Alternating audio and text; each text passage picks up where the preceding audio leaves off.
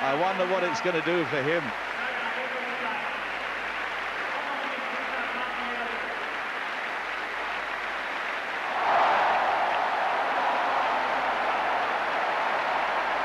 Well, the world record holder, Jürgen Schult, in the third round of the discus, still has a little way to go. The reigning champion, Ubartas, still in the lead.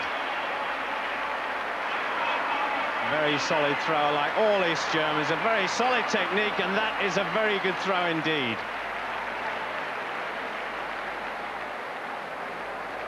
The second line you can see there is 60 metres. Ubartas's lead, 63 metres and 38, and that has to be very close to that distance.